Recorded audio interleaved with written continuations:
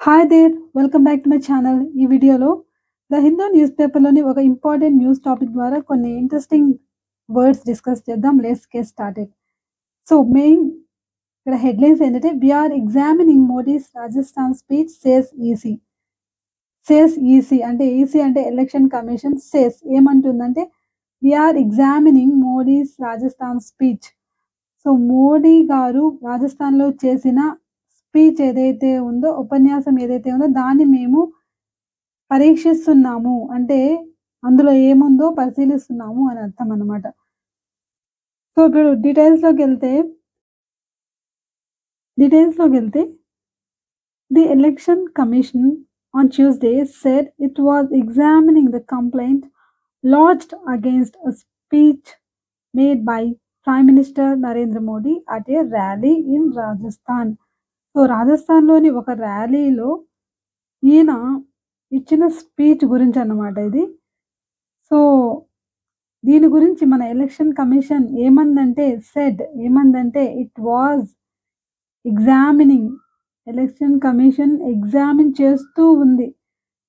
The complaint LADS దేన్ని అంటే complaint దేని గురించిన కంప్లైంట్ లాడ్జ్డ్ అగేనిస్ట్ అంటే అగేన్స్ట్ అంటే వ్యతిరేకంగా దేనికి వ్యతిరే లాడ్జ్డ్ అంటే బుక్ చేయబడిన కంప్లైంట్ దేనికి వ్యతిరేకంగా అంటే మోడీ గారు చేసిన స్పీచ్కి వ్యతిరేకంగా ఇవ్వబడిన కంప్లైంట్ని పరిశీలిస్తున్నామని చెప్పింది so mister Modi has said that if elected to power, the Congress would distribute people's property, land, and gold among Muslims.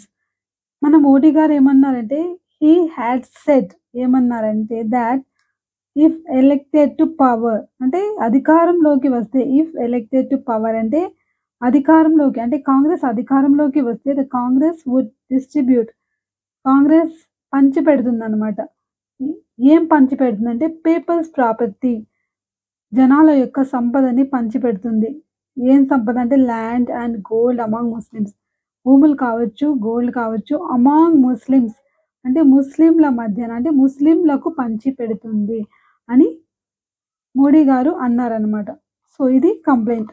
Sources said the complaint regarding the prime minister speech had been received and was under the consideration of the commission. So sources అంటే మనకు లభించిన సమాచారం ప్రకారం said the complaint regarding prime minister's speech అంటే ఈ complaint స్పీచ్కి సంబంధించిన regarding అంటే సంబంధించిన కంప్లైంట్ అనేది had been received had been అంటే స్వీకరించబడింది. హ్యాడ్ బీన్ రిసీవ్డ్ అంటే స్వీకరించబడింది. ఇది ప్యాసివ్ స్ట్రక్చర్లో ఉంది. So and was under the consideration of the commission so consideration అంటే పరిశీలనలో ఉంది.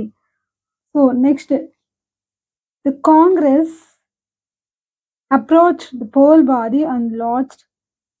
Well, the Congress approached the poll body on Monday and formally lodged a complaint seeking action against the Prime Minister. It alleged that it alleged that the Prime Minister invoked religion and religious symbols to create enmity between groups so Congress మన poll body అంటే ఎన్నికల సంఘాన్ని approach అయ్యింది. ఎందుకు? ఎప్పుడు అంటే Monday against prime minister so మన prime minister గారికి వ్యతిరేకంగా వీళ్ళు కంప్లైంట్ని ఇవ్వడం జరిగింది. అంటే యాక్షన్ తీసుకోవాలని. It alleged that The prime minister invoked religion and religious symbols to create enmity between groups it alleged అంటే ఆరోపించింది అన్నమాట ఎవరంటే? Congress party.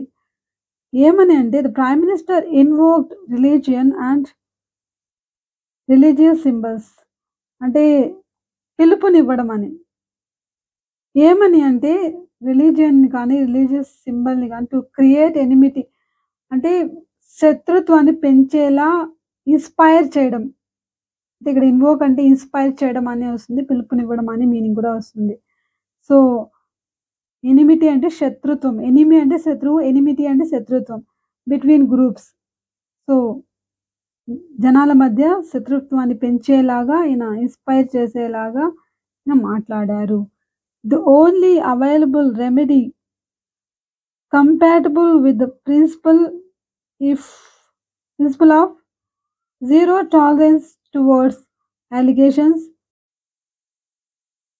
so stature or position of that candidate the congress said in its memorandum to the commission so Congress వారి యొక్క మెమరాండంలో కమిషన్కి ఇచ్చిన మెమరాండంలో ఏమందంటే Congress so the only available remedy అంటే మనకు మిగిలిన ఒకే పరిష్కారం ఏంటంటే రెమెడీ కంపాటబుల్ విత్ కంపాటబుల్ అంటే అనుకూలంగా ఉన్న with the principle of zero tolerance towards allegations zero tolerance అంటే అసహనం టువర్డ్స్ వాట్ టువర్డ్స్ అలిగేషన్ అంటే ఆరోపణలు. Of corrupt practices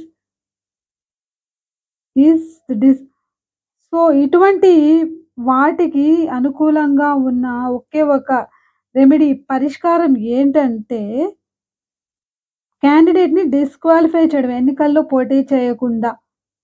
ఎందుకంటే try to create divide between different classes of the citizens of India. Regardless of అంటే భారతదేశంలోని వివిధ రకాల కులాలు మతాల మధ్య ఒక గోడని ఏర్పాటు చేసే ప్రయత్నం చేస్తున్నారు. రిగార్డ్లెస్ ఆఫ్ ద రిగార్డ్లెస్ అంటే ఏంటి? దాంతో పని లేకుండా దేంతో పని లేకుండా of the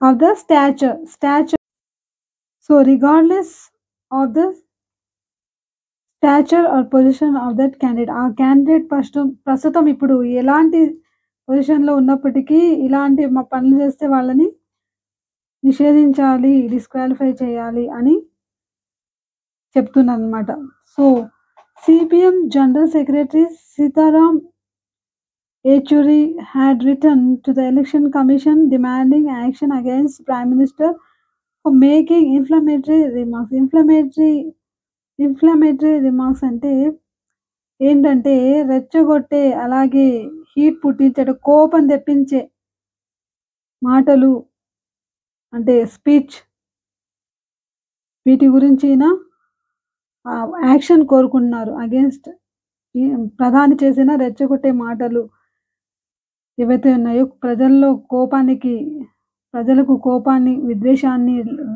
రెచ్చగొట్టేలా.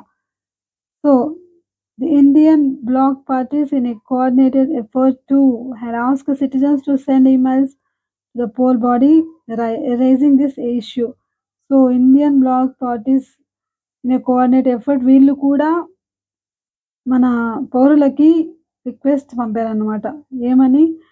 ఈమెయిల్స్ పంపండి. పోల్ ఎన్నికల సంఘానికి రేజింగ్ దిస్ ఇష్యూ దీని గురించి లేవనెత్తుతూ రేజింగ్ అంటే on but on Monday the commission declined declined to comment on the matter ఈ మ్యాటర్ మీద మాట్లాడడానికి నిరాకరించింది. డిక్లైన్ అంటే రిజెక్టెడ్ అని. సో అదనమాట ఈ కాంటెంట్ మీకు హెల్ప్ఫుల్ అనిపిస్తే లైక్ చేయండి షేర్ చేయండి సబ్స్క్రైబ్ చేయండి థ్యాంక్స్ ఫర్ వాచింగ్